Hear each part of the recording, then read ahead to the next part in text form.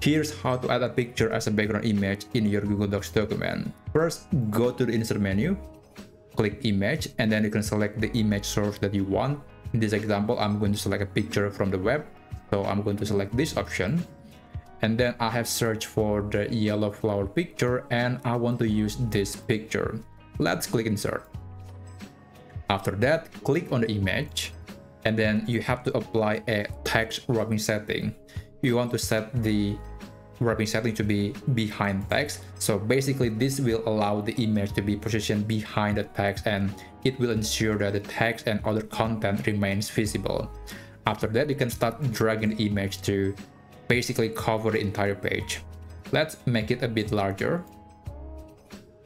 And you might have noticed that you cannot move the image as the header and that's usually a problem when you want to put an image background. To combat the problem, you have to change this option from move with text to fixed position on page.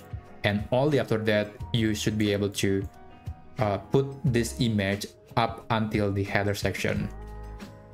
Let's apply this image to the entire page.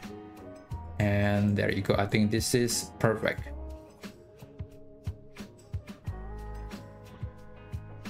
Right. Okay, now this is basically done, but of course there is a little bit of problem here because the text is not exactly visible and sometimes you might want to change the font or the font color of the text.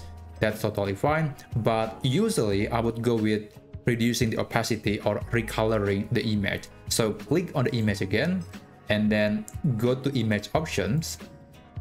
And then here you have the option to recolor and there are plenty of presets you can try think this looks great but again i personally prefer to open this adjustment menu and change the opacity to a bit lower maybe 40 percent. Right so this will ensure that the text is quite visible relative to the background.